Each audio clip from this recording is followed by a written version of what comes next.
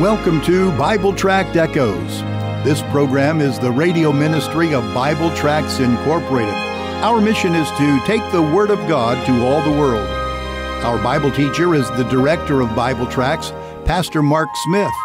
Since 1938, Bible Tracts Incorporated has been publishing clear gospel tracts and supplying them to churches, missionaries, and individuals all over the world, and all at no charge.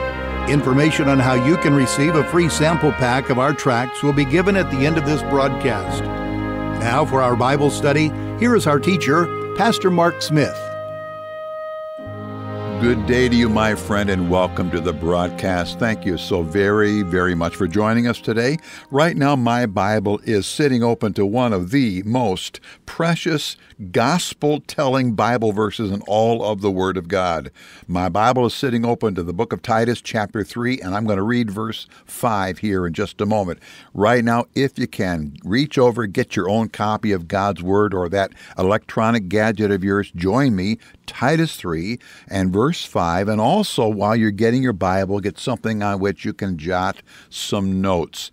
If you are ever wondering about how to better tell the gospel, here's a great verse for you, and it happens to be in the flow of our study as we walk through the book of Titus. Along the way, I've got a gospel tract I want to encourage you to get from us as long as well as a sample packet of gospel tracts. I'll be saying something more about that here in just a moment, but let me lead into our Bible study time this way. If you are a parent or grandparent, or if you are an elementary school teacher, you're very familiar with the rule I'm about ready to name. It is the five second rule. You see, you already know what the rule is. Now, just in case you don't know, the five second rule says that if a fork or spoon or of a piece of candy or a dinner roll or some other food, if it gets dropped on the floor, it's still okay. You can still eat it and use it as long as you pick it up in five seconds. Now, I know some of you listening right now have just wrinkled up your face. You say that the five second rule is not healthy. Well, okay, as a dad and as a grandfather, no, I can't defend the rule scientifically, but I sure have used it a number of times. You see, kids drop stuff. They drop things, and real family life has to take in those times when things get dropped, and life's got to go on. The problem is, some people think that their sin should be viewed through the same kind of a of the lens of a five second rule. Uh, stay tuned, I'll explain what I'm talking about. Get your Bible and join me. I mentioned a moment ago a gospel tract, and that word tract is spelled T R A C T. A gospel tract is simply a short written presentation of God's plan of salvation.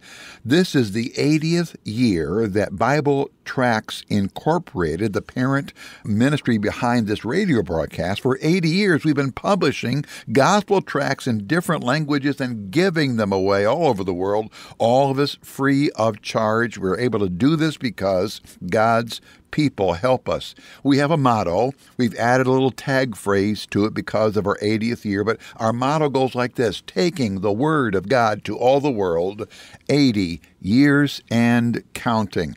Well, in my hand right now is one of my favorite tracts of the 41, 42 different tracts that we do. This one has a picture of a swimmer on the front, and the title of the tract says, The Best I can. The best I can. How many people think they're going to get to heaven because, yes, they know they're a sinner, but they're doing the best they can?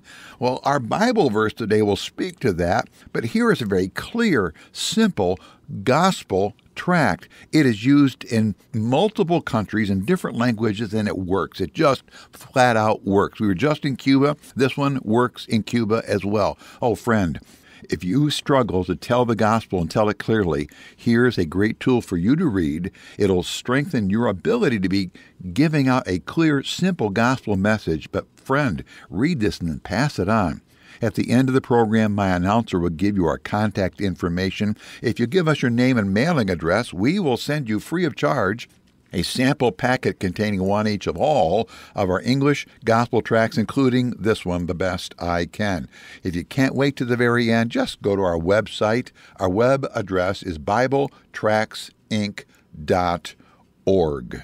All right. If your Bible's open there to the book of Titus, chapter 3, verse 5, simply says this Not by works of righteousness which we have done, but according to his, God's mercy, he saved us by the washing of regeneration and the renewing of the Holy Ghost. Now, this verse is one, as I said, of the most famous verses that people use in explaining the gospel to a lost person. And the gem of this verse, the great help of this verse, is that it clearly states that the means or the method of having the sin stain on our heart removed is not at all due to our personal goodness.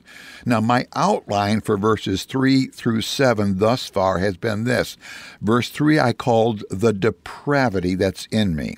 Now, notice the word beginning with the letter D, depravity. Verse 4 I called God's devotion to me. And now, verse 5, my D word is deeds, the deeds done by me. Now, despite my depravity in verse 3, God personally came and appeared on earth to rescue me, to rescue sinners.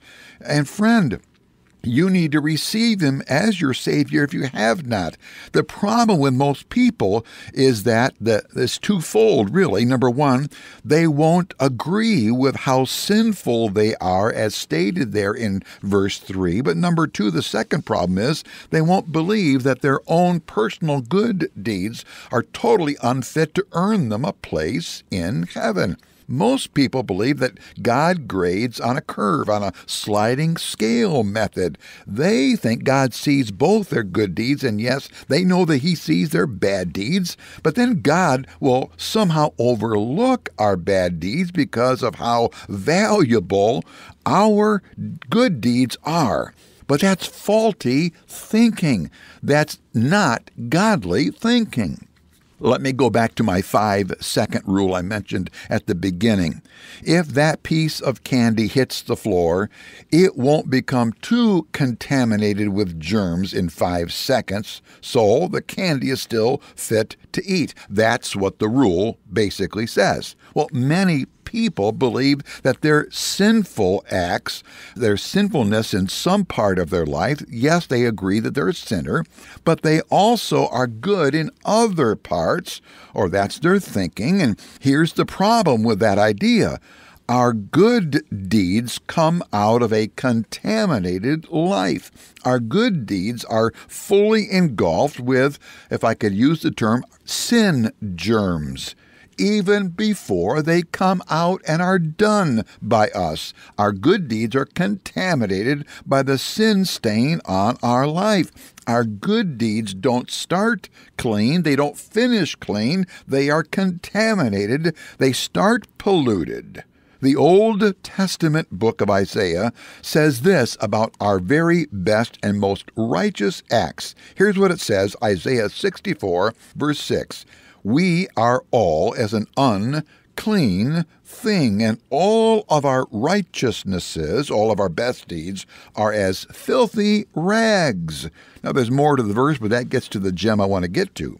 By the way, friend, that phrase, filthy rags, was the word that was used in that day to describe a rag or cloth coming off a wound. When soldiers were wounded in battle, they would be bandaged up. Well, those bandages were not changed every day and maybe not changed for a number of days. But when the bandages was taken off, they were called by this term, translated filthy rags. Oh, beloved, a non medical person might not see those rags as polluted, but you talk to any doctor, you talk to any nurse, they will tell you those are polluted stuff. Well, God sees our hearts and our most righteous deeds as polluted. Why? They come out of a sin contaminated life. God is pure holiness. He cannot accept even our best and most righteous deeds. Oh, they're best because of our sense and our perspective. They're righteous because of our perspective. That's our problem. We see everything from our perspective, and we expect God to alter His view and accept our perspective, and that's not going to happen. The main verb in verse 5 is this He, that is God, saved us. He saved us. But in the Bible and in the Greek language of the New Testament here, guess what comes first? Guess what is emphasized first in verse 5? It's these words, not by works of righteousness. The deeds which we so valued and put such stock in before we came to Christ as Savior cannot provide salvation from our sinfulness. They cannot turn God's eyes away from our sin, nor turn God's wrath away from our eternal future in hell. The only thing that can turn God's eyes away from our sinfulness is to have His Son's blood applied to our sin account, our sin debt, and to have a washing happen in our soul. That's talked about here in verse 5. Now, why would God even want to do this? There's only one answer. It's provided here in verse 5. God shows us mercy. God shows us pity, pity on our polluted state. Oh friend, all of our all of us are sinners from the top of our head to the soles of our feet.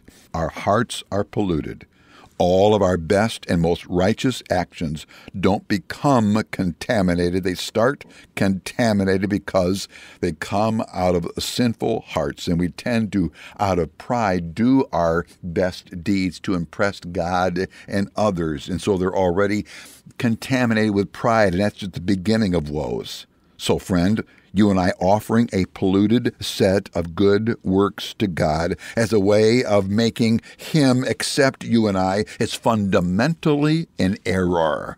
Fundamentally an error you and I would not take those filthy rags off of a wound and offer it to a medical doctor and say, Here, put this on the wound of another person.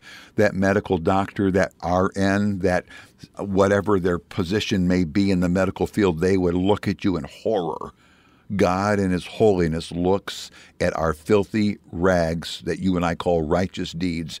He looks at them as, a, as we offer them to uh, placate Him to cover over our sin. We, he looks at those in horror and says, unacceptable, unacceptable, unacceptable.